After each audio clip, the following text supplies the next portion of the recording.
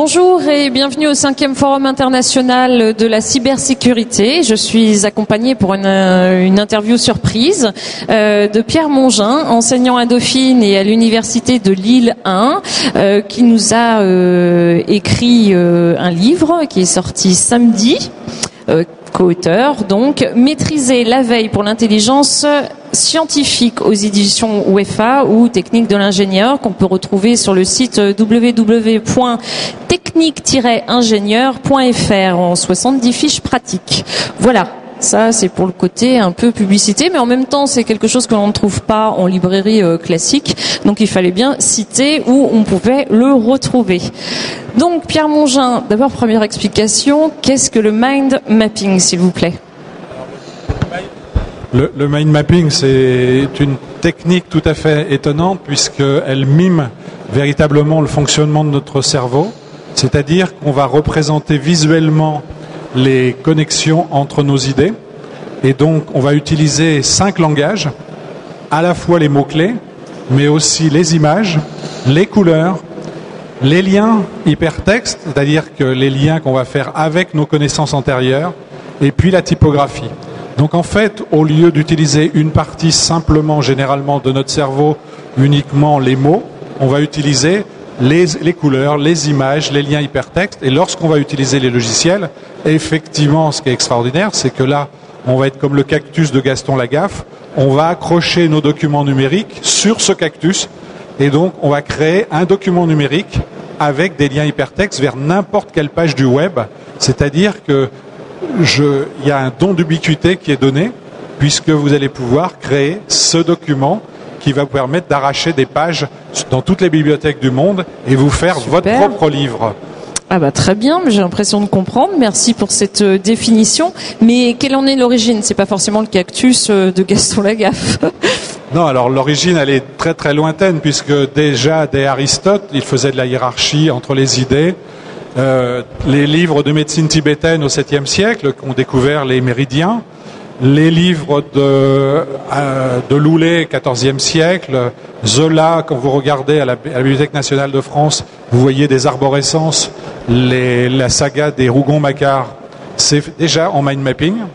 D'accord. Et, et, puis plus récemment, je dirais depuis une trentaine d'années, depuis l'arrivée des ordinateurs et des logiciels, maintenant vous avez des, des logiciels tout à fait euh, gratuits, euh, par exemple comme FreePlane ou FreeMind que vous téléchargez euh, euh, sur sourceforge.net par exemple, 14 millions de téléchargements, traduits en 40 langues, etc. Sympathique. Donc les utilisations du mind mapping. Donc on a vu la littérature, la bande dessinée.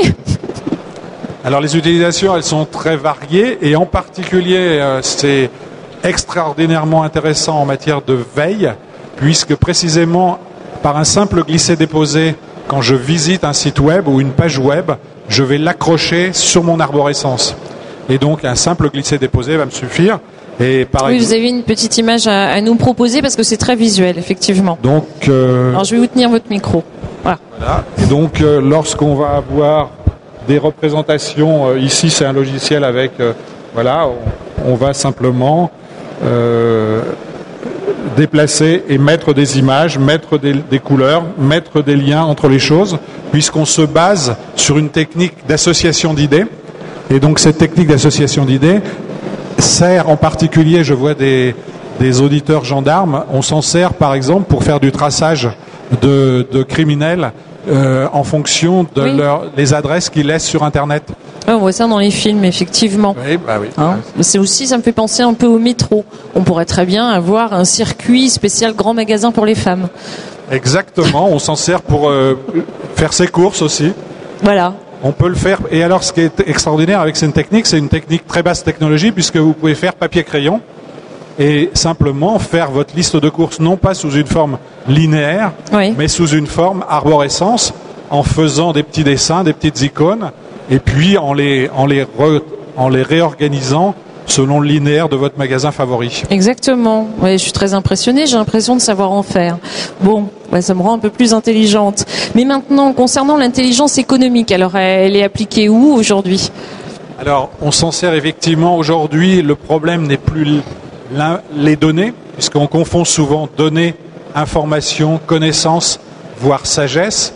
Et aujourd'hui, pour caractériser, classifier des données, ce qu'on trouve sur Internet, on va leur donner un contexte, donc on va les transformer en informations, et ces informations, ensuite, on va les relier aux connaissances antérieures suite à notre formation, nos expériences, et puis les connaissances de la de l'entreprise, par exemple.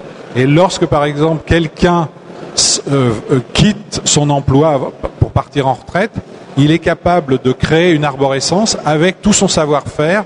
Et, et, ce qui est extraordinaire avec les logiciels, c'est qu'effectivement, non seulement on va passer d'un schéma non linéaire à un export directement en traitement de texte ou en diaporama, c'est-à-dire que lorsqu'on va faire par exemple un compte-rendu de réunion, on va directement à la sortie de la réunion avoir le traitement de texte automatique en deux clics que l'on va envoyer sur l'intranet de l'organisation et les gens ont le compte-rendu de la réunion avant de rentrer dans leur bureau.